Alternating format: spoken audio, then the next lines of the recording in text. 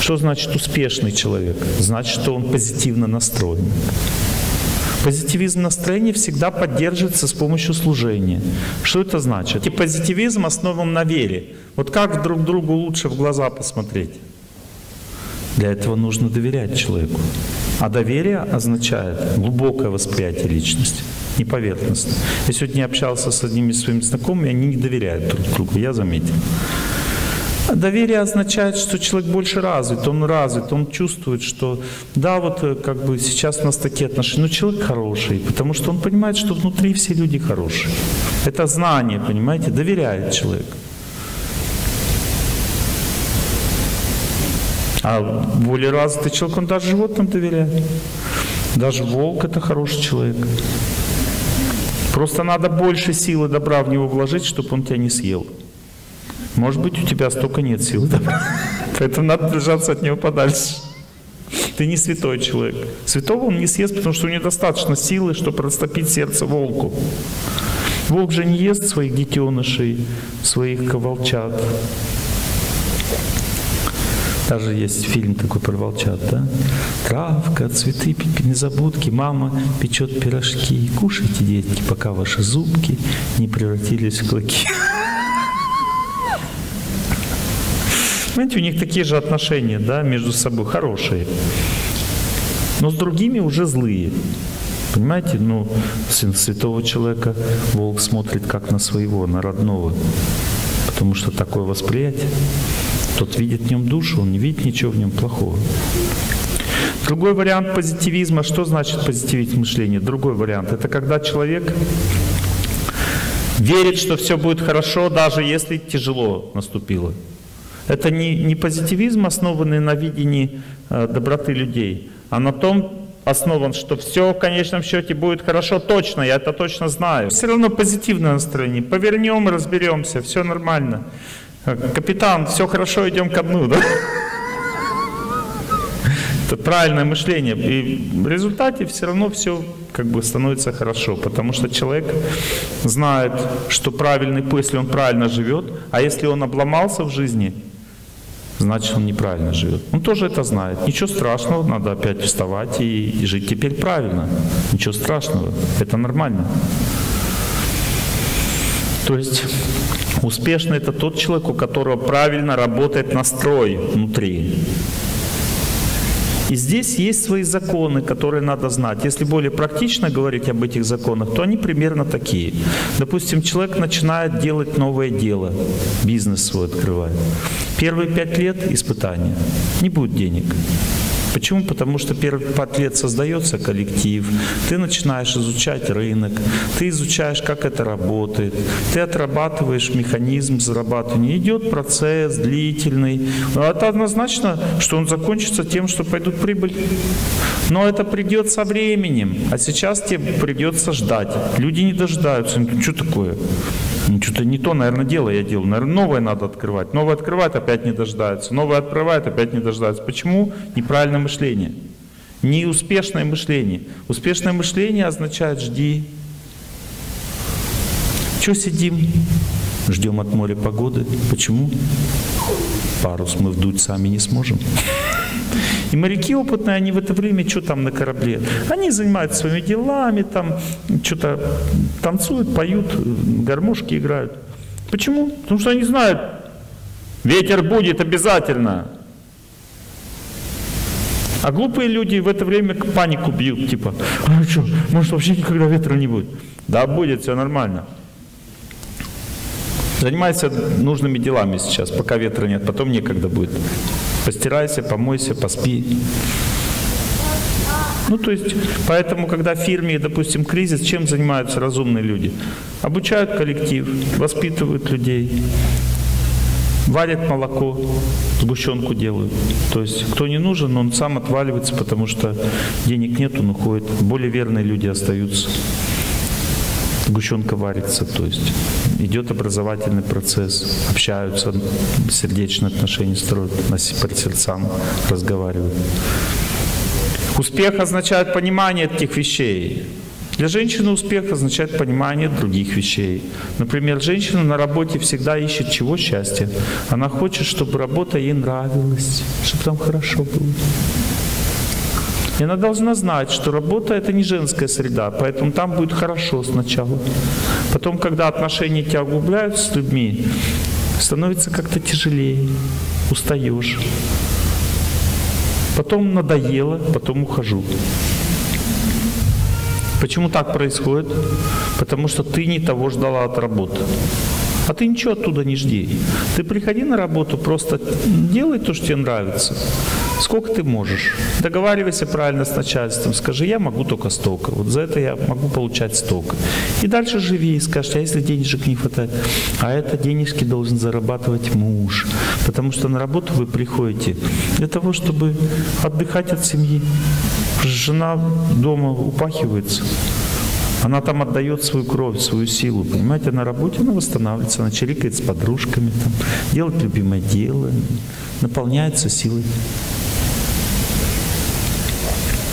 Но если женщина начинает думать, я хочу больше денег с работы, тогда четыре этапа. Первый – нравится, второй – устаю, третий – надоело, четвертый – ухожу. Не могу, невыносимо уже. Потому что не женская природа думать о том, как заработать деньги. Вы скажете, а если мужа нет? А если мужа нет, значит не по своей природе живете. Почему у женщины нет мужа? А потому что она не притягивает. Нужна энергия любви. А энергия любви означает отношения, означает больше любить всех, больше о всех заботиться. Больше отдавать свое сердце людям, Женщина, когда так делает, она становится красивой. А если она становится красивой, то и работать вообще не надо. Почему? Потому что работать будет тот, кто ее любит. Чувствуете, да, философию? А если ты как привязана к деньгам, думаешь о деньгах, тогда будешь некрасивой, потому что будешь много работать, тебя никто замуж не возьмет, будешь слабой, потому что живешь не по своей природе.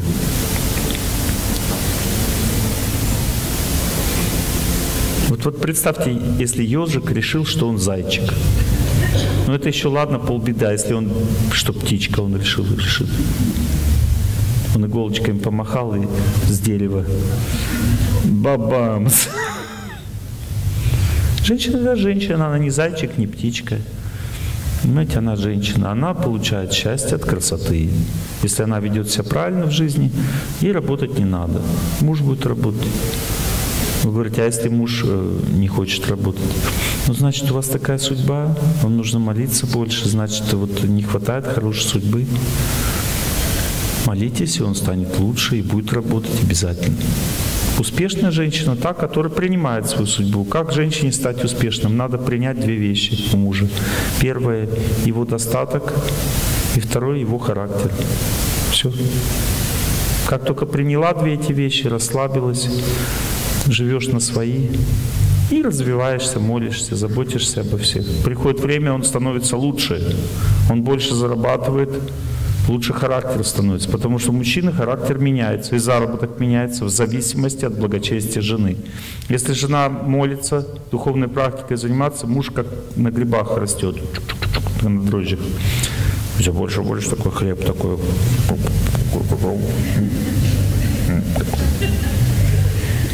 Ребенки такой уже стал. Почему? Потому что она вкладывает в нее благочестие, силу любви. Он является инструментом в руках ее судьбы, он дает ей благо. А жена дает мужу тоже незаменимые вещи. Она дает ему удачу, она дает чистые советы. Она, это сердце мужа, жена. Чистые советы, удачу. Она дает ему расслабление, счастье, дает любовь. Сегодня разговаривал с одним человеком, он не понимает, что жена отдает. Я ему говорю, радуйся, когда жена покупает себе платье. Он говорит, она же деньги тратит. Зачем? У нее и так много платьев. Я говорю, понимаешь, эти платья не важно. Важно, что когда она одевает новый наряд, она становится красивой, счастливой и, и может дарить тебе любовь. Она для этого живет, чтобы дарить тебе любовь. А эта любовь сделает тебе удачу в жизни. Потому что когда мужчина наполнен любовью, он может горы свернуть. Поэтому мужчина покупает, когда жене наряд, С добрым сердцем, понимаете?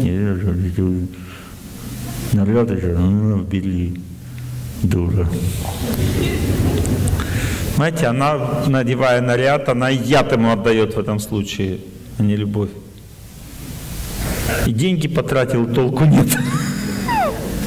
А так хоть толк будет, то есть ты с добрым сердцем отдал и купил, она наденет, станет красивой и подарит тебе удачу счастье. Удача — это энергия счастья. Вот зачем носят драгоценные камни на себе? Они просто, эти драгоценные камни, они оптимистичные. Есть камни тоже пессимистичные, есть оптимистичные. Оптимистичные — это драгоценные камни. Они сияют красивыми цветами.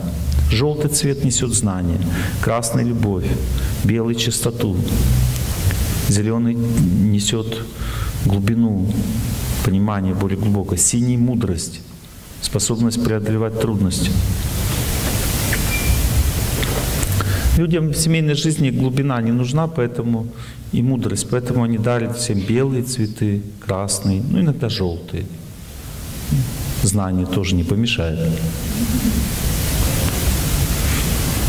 Но эти все чиста, цвета чистые. Когда человек одевает камень, допустим, синий, он обретает проницательность, мудрость. Желтый — способность позитивно, оптимистично мыслить. Красный — он всех любит, получает власть над людьми. Любовь дает власть.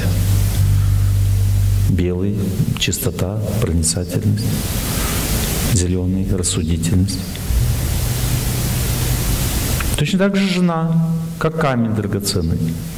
Она наделяет человека энергией. Вот камни наделяют энергией, настраивают на правильную волну. Жена тоже настраивает на, на правильную волну. Если ты правильно в нее вкладываешь силы, она, мой дорогой, я рада тебя видеть. И у тебя раз, правильно волна пошла. Это значит, что кто-то там на другой конце земли подумает, заключаю с ним сделку. Почему? Потому что от него исходит какая энергия? Удача. Удача — это когда ты ну, по-доброму относишься к жене.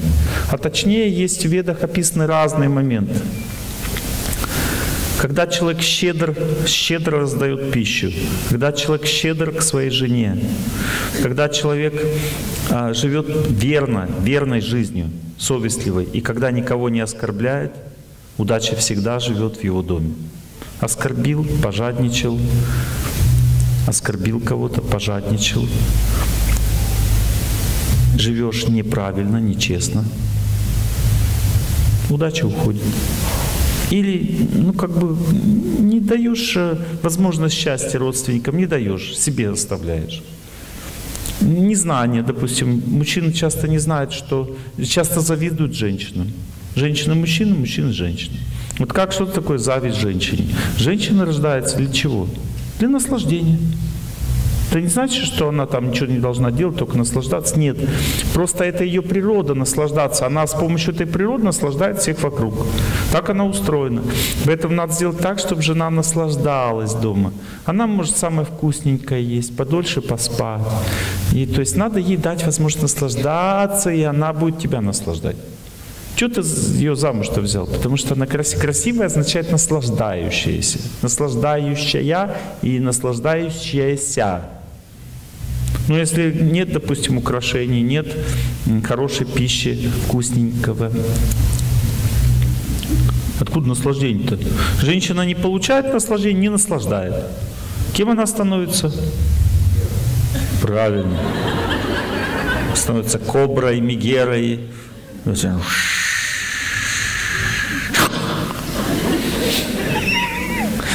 Потому что не, муж, муж не дает счастья. Жена в результате, она несчастье дает, потому что женщина соткана из энергии, благословляющей или проклинающей. Счастье не даешь жене, будет кусать тебя, жалить. Даешь счастье, будет счастье тебе приносить назад. Так устроена женщина, женщина природа, женская природа. Теперь скажете, а если у меня нет столько денег, сколько ей надо? Ни одного мужчины нет столько денег, сколько женщине надо. Это невозможно просто. Ей надо все больше и больше, больше и больше. Это никогда не закончится. И если ты ей подарил кольцо вот такого стандарта э, денег и красоты, ниже, дальше не дари, это и счастье уже не принесет. Поэтому в отношениях с женщиной всегда мужчина должен быть очень осторожным, внимательным и знать правила – что если ты как бы постоянно заботишься о ней, любишь ее, то есть если ты отдаешь ей свою верность, чистоту, то она согласится на тот стандарт жизни, который ты можешь ей предоставить. Потому что она чувствует, что главное это человек. А все остальное это тоже хорошо, конечно, эти тряпочки мне нужно. Но все равно вот мне главное этот человек. Он меня любит, он верный, он хорошо относится, он ухаживает, заботится, меня понимает. Это важно, меня понимает, понимаете? Потому что женщине, чтобы любить, любовь отдавать, нужно чтобы тебя понимали. Вот если, допустим, что значит понимать мужчины? Женщину понять невозможно. Вы должны подойти к жене, посмотреть ей в глаза по-доброму, сказать, тебя так понимаю. Даже если вообще не понимает ничего. Имеет значение, просто скажите вот так. Это означает направленность человека. То есть вы ей говорите, я направлен в эту сторону, в сторону понимания. Я хочу тебя понять.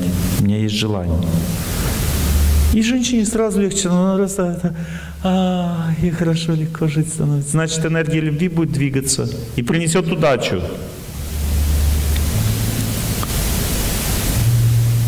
Женщина, вы меня поправьте, если я что-то не так сказал. Все правильно, да? Ну вы готовы теперь послушать про мужчин, да? Имейте в виду, что то, что я сказал вам, женщины, то, что я сказал, вам очень понравилось. Но мужчины, заметьте, все напряглись. Почему? Потому что всегда то, что нравится женщине, мужчину напрягает. Запомнили правило?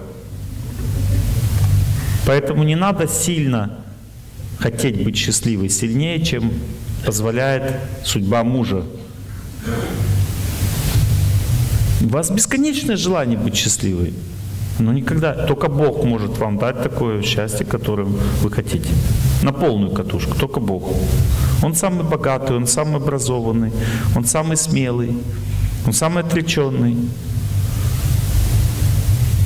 Понимаете? То есть все достояния у него находятся, у Бога. Муж просто небольшое как бы отражение его энергии. То отражение, которое вам положено по судьбе. Все.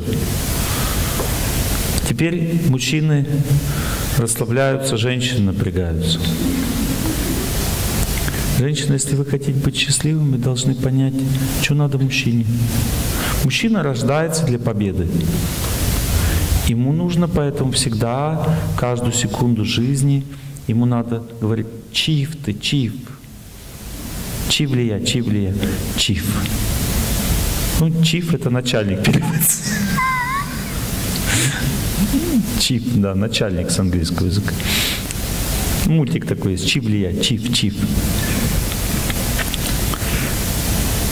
В конце концов, она как бы кошку выгнала, а не он тип. Ну, то есть идея в чем заключается? В том, что женщина должна внешне показывать, что муж главный. Но это не значит, что она должна себя считать хуже, ниже. Она так только показывает, потому что если дело доходит до разборок, она на равных.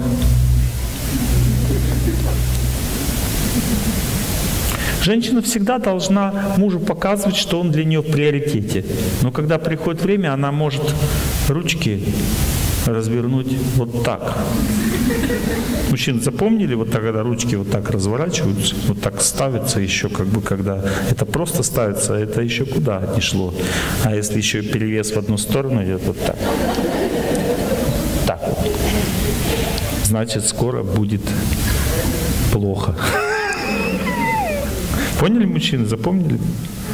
Это боевая позиция женщины. То есть она как бы занимает эту позицию с целью дальше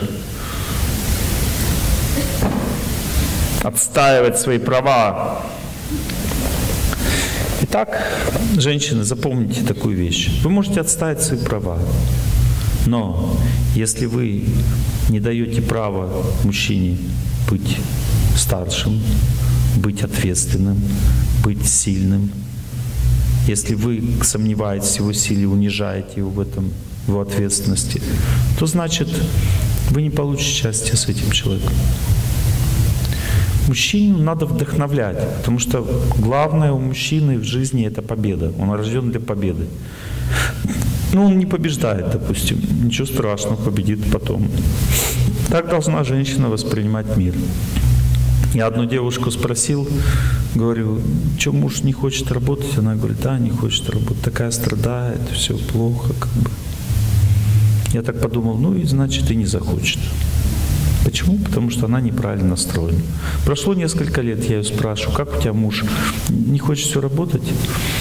Она смотрит на меня. Нет, говорит, все нормально. Я говорю, работать? Нет.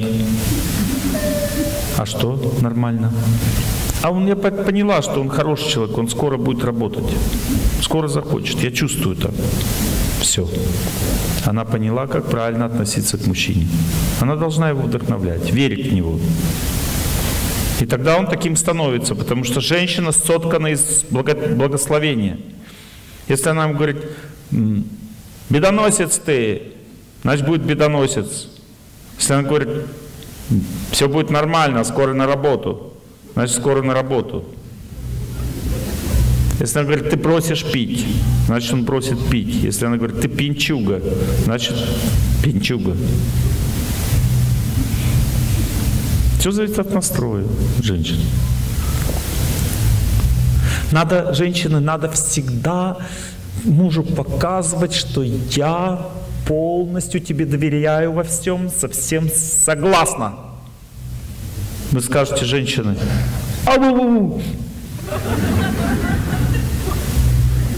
Он же меня ограничивает во всем, как же тогда?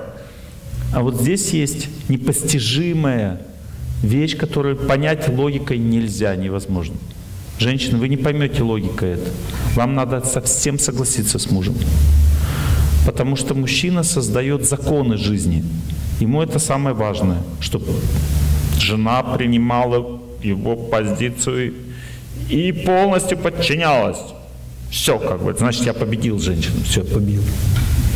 Он как только победил, он расслабляется, сразу на печку. Когда он на печку, вы подходите, говорите, да, мы деньги не тратим, вообще не тратим, надо ребенку там вот это купить. Он говорит, ну купи, что, какие проблемы? Мы же не тратим деньги. В целом не тратим, но сейчас купи. Понимаете, женщины, если вы посчитаете бюджет, будет то же самое. Что вы тратили, что вы соглашались. Но жизнь будет лучше. Потому что когда мужчина видит, что женщина подчиняется ему, он легко выполняет, потому что мужчина по природе щедрый человек. Мужчина для женщины, которая с ним согласна, раскрывается в сердце щедрость. Он готов ей там то подарить, это. Но он не считает это пустой трачей денег. Это от благодарности он делает женщине. В чем женская скупость заключается? Скупость женщины заключается в том, что она не верит, что если она подчинится мужу, то она все получит быстрее. И в этом же заключается тупость. Разумные женщины подчиняются своему мужу и получают от него все, что они хотят. Легко. Так они управляют мужским сознанием. Они подчиняются ему, мужу, а потом все, что им надо, добывают. Легко, потому что мужу нравится тоже так жить. Она мне подчиняется и там попросил что-то, ну я отдал, конечно, что я жмот, что ли. Теперь смотрите, вот женщины, я рассказал хитрость, женскую хитрость. Смотрите, все мужчины, за исключением, за редким исключением, а редкое исключение те, которые не были женаты, скажут, Олег Геннадьевич, мы согласны. Почему они так скажут? Потому что они знают, женщины все равно бесполезно. Ну, опыт, мужской опыт в чем заключается? Ничего с ней не сделаешь. Понимаете, разница между мужчиной и женщиной в чем заключается? Мужчина забывает свои желания – а женщина нет. И она по этому мозге будет год выносить, два, три, пока ты ее желание не удовлетворишь. Поэтому лучше сразу, зачем париться? Если ты уже понял природу женщины, ну дай ей то, что ей надо.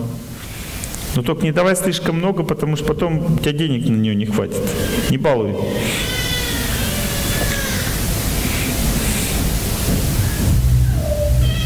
Видите, успешная жизнь означает знание. Все семьи рушатся из-за этого, понимаете? Мужчина завидует женщину и ограничивает все, постоянно гнусит, говорит, это нельзя, это нельзя. Что разболелась? Сейчас с подружками, с подружкой болтаешь. Что ушла в кино неожиданно? Как бы, почему женщина все неожиданно делает? Потому что она устает, она уже не может терпеть, ушла. Не то, что она непослушная. Нет, просто она не вытерпела. У нее кончается терпение у женщины, и она не может с собой справиться. Пошла в кино, не сказала ничего. Не значит, что она гулящая там. Просто она не справилась с собой. И мужчина разумный понимает, что что-то с женой не так. Он звонит ей и говорит, ты куда пошла? У тебя все хорошо? Я в кино. Молодец, посмотри кино. Разумный мужчина думает, мой муж хороший, я ему верю, он меня понимает. Все, она приходит счастливая и начинает все делать по дому. Так или нет, женщина? Так. А если муж все время, а, ты дура, ушла, ничего не сказала. Ну, значит, получи фашист гранату. У женщины есть три типа энергии. Первый тип энергии называется энергия разрушения, проклятие. Женщина проявляет энергию разрушения, когда мужчина ее не понимает, не любит, угнетает, изменяет, ведет себя неправильно. Потому что женщина соткана из правил чистоты, она следит, чтобы все правильно было. Мужчина должен подчиниться этому. У каждой женщины свои прибабахи, то есть правила, извините, я неправильно сказал. Вот. И надо, и надо эти правила принять мужчины. Хотя для вас это абсурд, потому что ну, каждый свои правила. Надо все принять. Она говорит, это вот так надо делать. Нигде не написано. Она так чувствует. Делайте так, ничего страшного. Пускай в доме, именно в доме, я говорю, про порядок, там, где вещи лежат, и такие вот мелочи. Это женская природа, она наводит везде порядок и вот контролирует. Если мужчина нарушает порядок, она сразу раз ему говорит об этом. Она очень нервничает сильно. Ей нужен порядок. Потому что порядок ее успокаивает, расслабляет, она чувствует все нормально у нас в доме.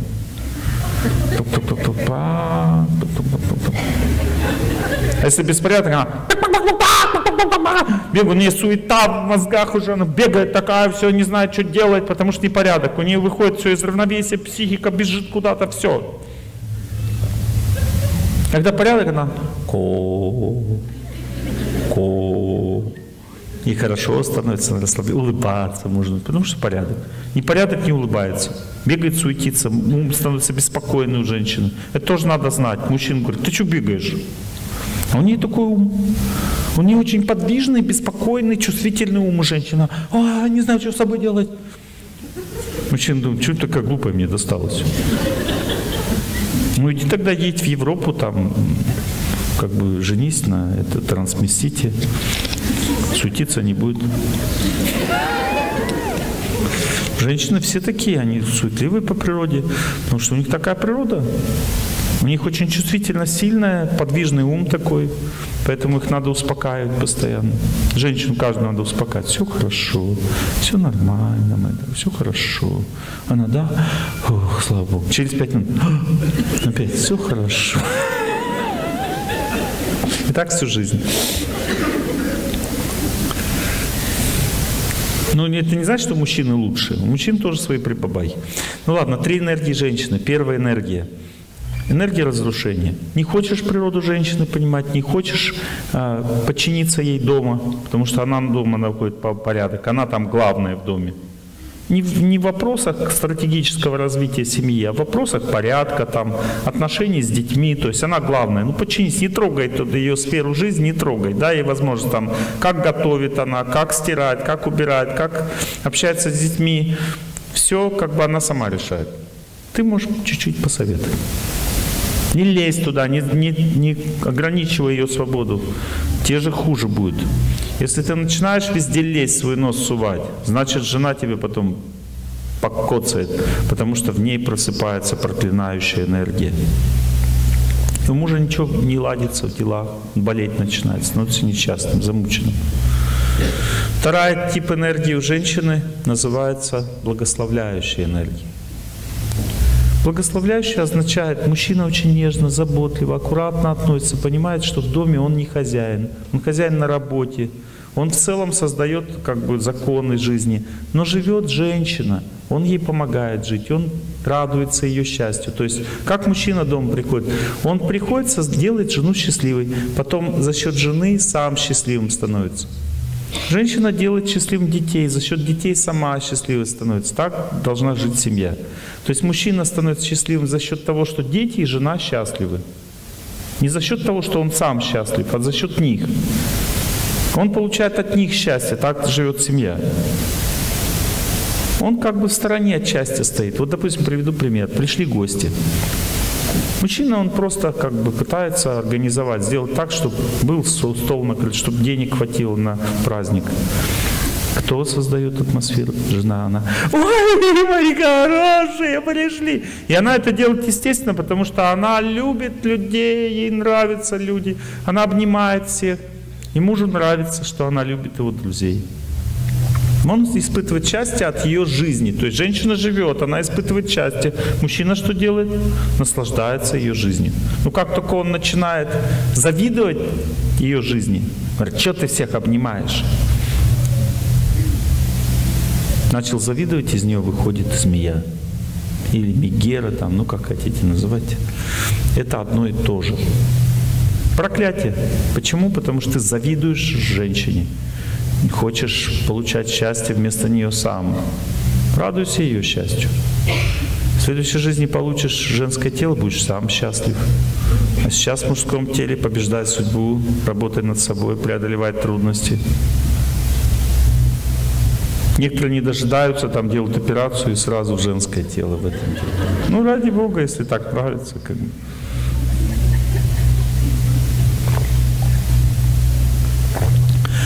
Goodbye, my love.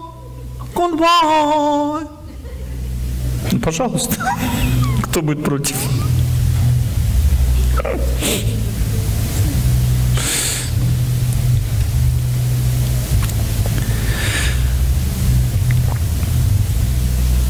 Благословляющая энергия. Мужчины заботятся, женщины дают быть счастливым аскетирует в том плане, что сдерживает себя в том, что она что-то не так делает. Не сильно, нельзя строго женщины себя вести. Нужно мягко, по-доброму объяснять. Можно грани, грани, грани ей ставить, твердость духа проявлять. Твердость — это не строгость. Другое. Женщина не то, не то что-то делает, раз перестал с ней разговаривать просто. Она, что такое там?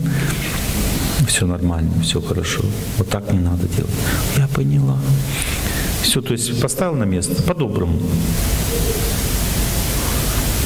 И удача от нее пошла. Удача, она такая счастливая. Говорит, у такой муж, мне так нравится с ним жить. Удача идет от нее. И у нее все в делах пошло. Потому что от нее исходит такая сила. Именно от женщины исходит сила. Женщина — это смерть и жизни. Жизни дает женщина. И забирает тоже женщина. Запомните, смерть — это женщина. Я ее могу почувствовать. Если она кому-то подходит, она сзади подходит. Кому-то подошла, встала сзади. Красивая женщина. Лицо не показывает свое, потому что кому показывает, тот уже тютю. Она холодом отдает, таким холодом спокойствия, безразличия к этому миру отдает человек. Когда она приходит, этот холод пускает на жизнь человека. Человеку ничего не надо уже в этой жизни. Он теряет интерес к жизни. Все. И человека спасти невозможно этого все уже. Он в руках смерти находится. Женщина. Женщина или мужчина, не имеет значения. В руках жизни тоже человек находится. Когда человек находится в тонком теле, то женщина дает ему жизнь. Он входит в тело женщины и так получает жизнь от женщины. То есть женщина благословляющая начало и разрушающая также одновременно. Поэтому с женщинами нельзя связываться мужчины. У них больше власти в этом мире, больше полномочий. Они рождены для счастья, мужчина рожден для того, чтобы дарить счастье женщине. И тогда он сам становится счастливым. Удача — это вторая энергия. Третья энергия — знание. Это еще более высокая энергия, но к ней еще тяжелее приблизиться. Если, допустим, понять, что надо к жене аккуратно, спокойно относиться, не строго, а аккуратно объяснять и по-доброму, это еще можно как-то понять. Но как понять, что жена, женщина, эмоциональное существо по природе, как бы, ну, такое иногда глупое, как бы, откуда знание-то? Скажешь, ну, Олег ну откуда знание? Вы чего? Запомните, у женщины сердце очень чистое, интуитивное, нацеленное на Бога по природе. Не как у мужчины. Мужчины сердце сильное, загрязненное, неинтуитивное, нацеленное на победу и на эксперимент в жизни. Мужчина готов ошибаться в жизни. И от ошибок он получает мудрость. Женщина не готова ошибаться. Она получает мудрость от чистоты. Поэтому жена является сердцем мужа. Она говорит мужчине, где опасность. Она говорит, это не надо делать, это не надо. Мужчина не слушает. Он говорит, да, что ты понимаешь? Она не понимает, она чувствует. Это разные вещи. И, допустим, женщина пришла на лекцию. Если ее спросить, о чем лекция была, она сразу не скажет. Она скажет, хорошая лекция, хорошая. То есть женщина воспринимает лекцию сердцем, она слушает сердцем. И потом все впитывает в себя. Впитывает и так потом живет. Все. Мужчина, он не впитывает в себя лекцию, он смотрит. Перв, на первую лекцию мужчина пришел, он думает, дурак не дурак, дурак не дурак. Он пытается понять, что такое вообще, что сидит, что надо мужику. Понимает. И жена на лекцию мужа привела, как бы он после первой лекции пришел, она его спросила, лекция понравилась? Он говорит, я пока не знаю. Почему? Потому он изучал, дурак или нет, всю лекцию. Слушал слова разные, поведение. Изучал человека. На второй лекции, если понравилось, потом мужчина начинает дальше сравнивать со своим знанием. Он слушает, говорит, это правильно ты говоришь, это неправильно. Это проверим, посмотрим. Так мужчина себя ведет. Он сравнивает потом. И потом проходит много времени, мужчина убеждается, допустим, что старший прав. Он тогда начинает впитывать в себя знания, но тоже при этом избирательно. То есть он тоже в конце концов начинает впитывать, но он при этом по-другому впитывает. Он сравнивает все равно со своим опытом жизненным. Женщина ничего не сравнивает, она просто берет знания и все. И потом применяет. Если что-то не совпадает с этим знанием у нее там внутри, она это в сторону. Все, это не надо, это неправильно. Теперь женщина вот так наполнила знанием, приходит домой. Муж говорит, ты что, свихнулась что ли? Мы что, теперь так будем питаться что ли? Она говорит, да, потому что так правильно. Он говорит, ну мы же, я привык к другой пище, ты что? Она говорит, ничего, привыкнешь к этой. Он говорит, ну капец, просто на лекцию сходила. Запомните, мужчины, женщина, она несет знание. Знание женского рода. Не среднего, а женского. Если мужчина разумный, он слушает сердце жены, прислушивается к ее интуиции, и всегда удача в его жизни живет. Почему? Потому что он предупрежден всегда. Жена чувствует об опасности всегда. И он предупрежден, ее сердце в жизни. Когда женщина удачливо себя ведет, она принимает возможности мужа, принимает судьбу в этом плане, не требует больше. Потому что если она требует больше, муж напрягается больше, больше работы, начинает больше болеть, меньше уделяет внимания, разрушает семья. Она не требует больше, она видит, сколько он может, и к этому привыкает, к этой жизни. Если она привыкает, он становится творческим, активным, дает больше. И принимает, учится принять характер мужа. Она смотрит за его характер, внимательно следит и привыкает к нему. Когда она к нему привыкла, она дальше начинает правильно себя вести с ним и устанавливает правильные отношения. Когда женщина бунтует по поводу характера мужа, по поводу его средств, она его напрягает, злит, и начинается конфликт. Вы скажете, а если мне надо больше в жизни женщины, допустим? Берите все остальное от Бога. Вот сколько муж, муж сколько может дать, остальное Бог даст. Через молитву, через любовь, через отношения. Берите больше, если можете взять от этой жизни, от этого мира, но не от мужа. Иначе вы его вообще потеряете. Как связано благочестие человека и деньги? Вот деньги всем нужны в этом мире, никто не может от них отказаться. Как это связано все? Я вам объясню. Вот смотрите, допустим, если человек честно делает свой бизнес, честно означает практическая вещь. Честно не означает, что человек там выворачивает весь кошелек на налоги, там, честно означает от сердца. Человек чувствует, сколько надо отдать государству, чтобы честно было, сколько надо то сделать, что, сколько надо зарплаты отдать сотрудникам, чтобы честно было. Это все чувствуется сердцем. Когда нечестно, сердце говорит, ты их обдираешь, и их сердца тоже чувствуют. В этом случае удача уходит от человека, потому что уходит проницательность. Когда человек нечестно дела строит всеми вокруг, он не увидит, кто его обманывает.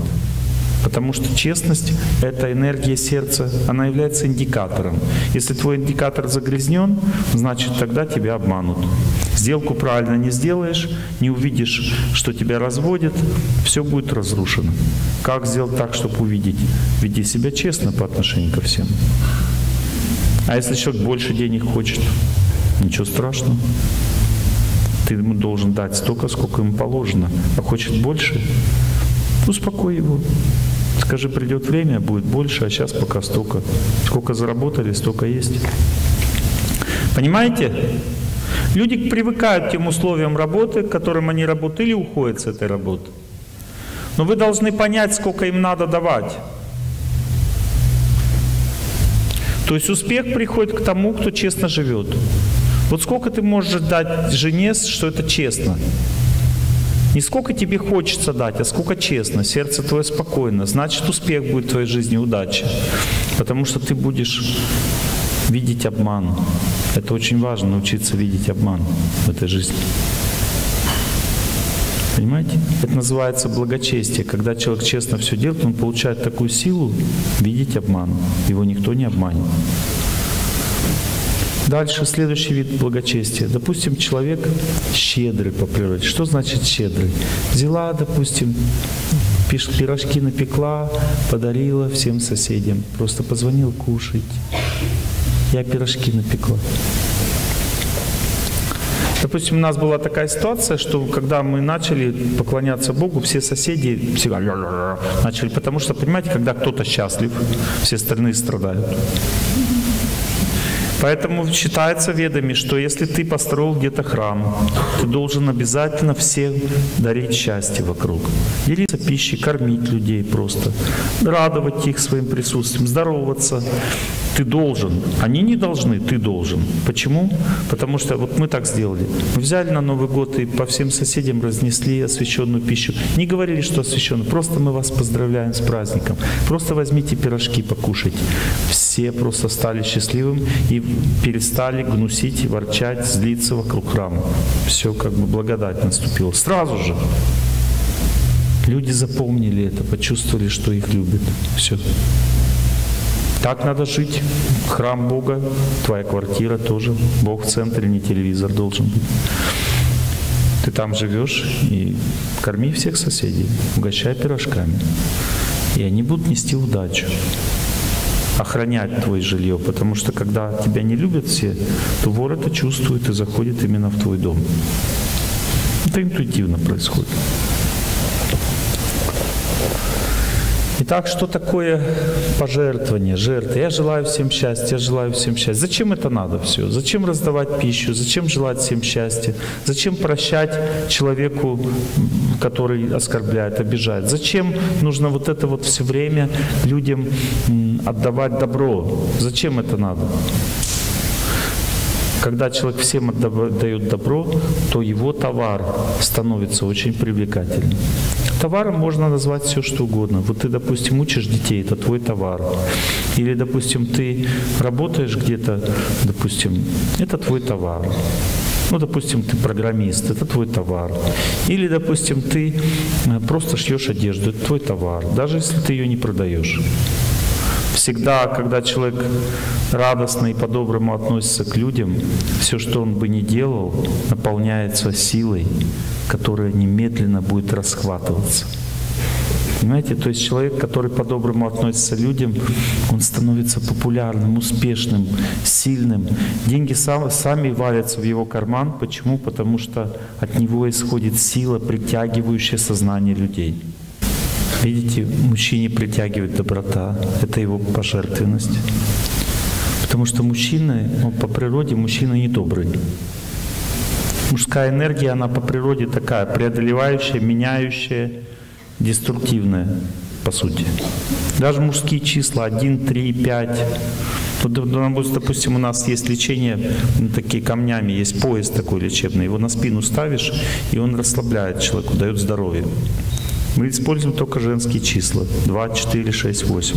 Каждому человеку подходит свое число. Мужские, если поставить, человека напряжет.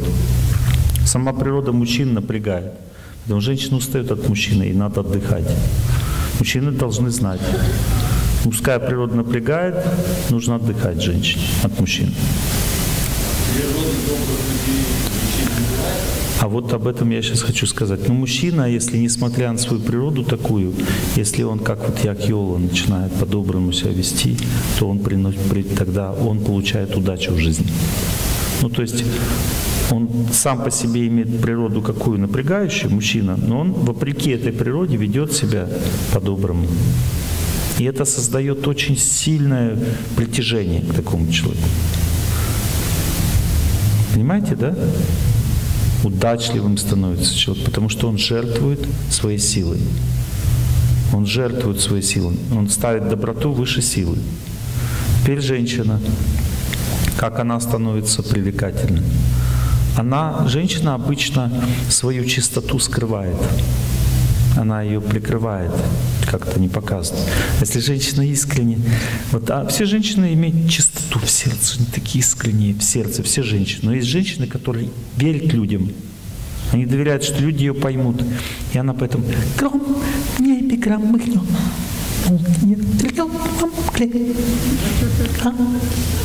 Отдает чистоту свою, не боится. Вау! Почему? Потому что человек жертвует себя. И это вызывает притяжение сильное, успех. Есть женщины такие, ой, такие жертвуют себя, не боятся, потому что люди же могут посмеяться, и это оскверняет сразу. Но есть женщины, которые не боятся чистоту свою показать. Или мужчины доброту не боятся показать. Значит, будет удача в жизни. Успешным человек становится. Вот, допустим, человек начальник, некоторые начальники, они на страхе живут, значит, будут ругаться с подчиненными. Они ходят как такие, я, я, я. слабый человек. Теперь сильный человек, сильный начальник. Он со всеми разговаривает по-доброму. Я, допустим, видел такой пример. Там один ручку сломал дверную, приносит, говорит, ручка сломалась. Начальник смотрит на него, говорит, не сломалась, а сломали.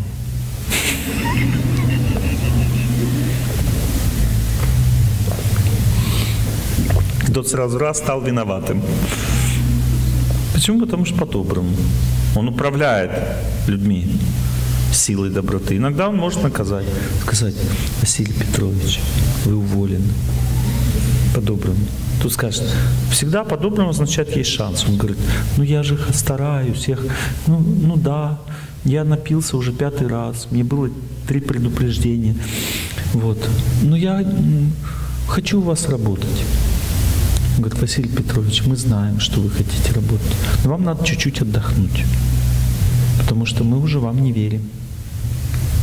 Идите, побудьте трезвым три месяца, приходите. Попробуем еще раз, последний.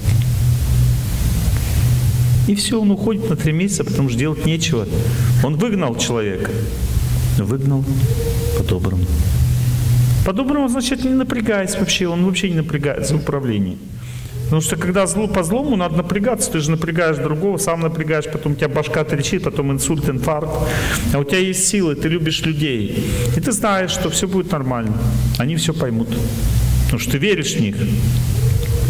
Можно управлять легко тогда людьми.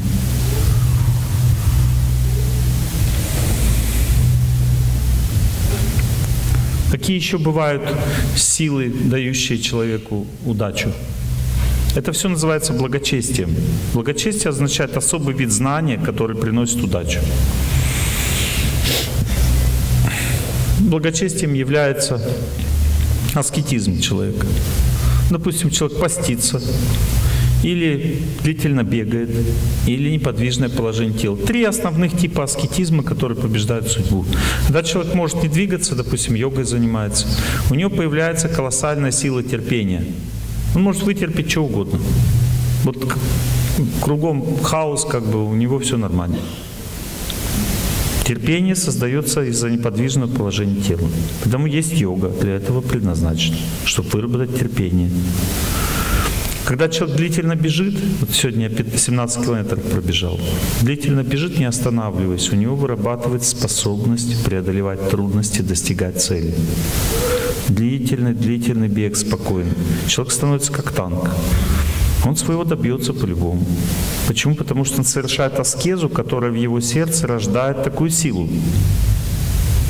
И пост дает человеку протрезвление, он, когда постится человек, у него все картинка на место встает. Он, у него голова трезвеет, свежеет, и он четко понимает, что происходит. Он лучше разбирается в том, проницательнее видит то, что происходит. Если военачальник хочет победить сражение, он в этот день должен поститься должен поститься на воде, и у него будет очень сильно, потому что начальник должен понять, куда армию направить, где опасность. Он должен иметь колоссальную интуицию, должен предвидеть каждый ход противника. Пост на воде. У него ясное мышление будет, яснее, чем у всех остальных. Наполеон был таким командиром. Он ни разу не проиграл ни одно сражение в своей жизни. Хотя он проиграл войну целую, но ни одно сражение не проиграл. Его невозможно было выиграть. Он всегда был интуитивнее, лучше видел ситуацию, чем все остальные. Так чисто он воспринимался. Ну, я не говорю о его там амбициях, всем остальном, это уже другой вопрос. Я говорю о природе, о благочестии человека. Он получил свое сознание такую силу чистоты, видно, постился много в прошлой жизни, что он проницательно видит все, что происходит, восхищает события. Победить невозможно человека. На пять шагов вперед тебя понимает ситуацию.